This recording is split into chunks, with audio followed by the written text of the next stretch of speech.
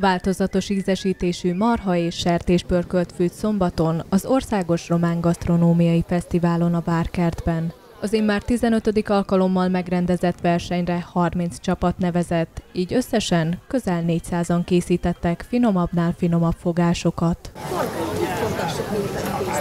Ahogy az előző években, úgy idén is volt, aki a főétel helyett inkább desszertet készített.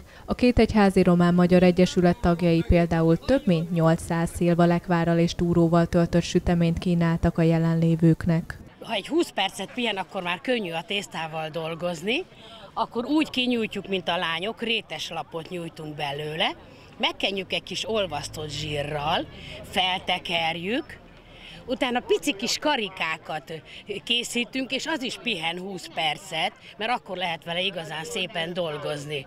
Pihenés után kinyújtjuk, ilyen lángos formájúra, bedobjuk az olajba, és ilyen gyönyörű, laza, lángos-szerű rötyisa sül belőle, amit megtörtünk szilvalekvárral és turóval. Kozma György, a Magyarországi Románok Önkormányzata hivatalvezetője elárulta. A fesztiválra több határon túli településről, valamint az ország három megyéjéből, Békésből, Csongrádból és Hajdúbiharból érkeztek versenyzők. Számos egyesület nem az első alkalommal vett részt a fesztiválon, hiszen rendszeres látogatói a gyulai rendezvényeknek. A hazai románság így kötetlen formában találkozhatott, szórakozhatott, miközben gasztronómiai képességéről is tanúbizonyságot tett egyfajta bemutatkozási alap a magyarországi románoknak, a magyarországi román települési önkormányzatoknak.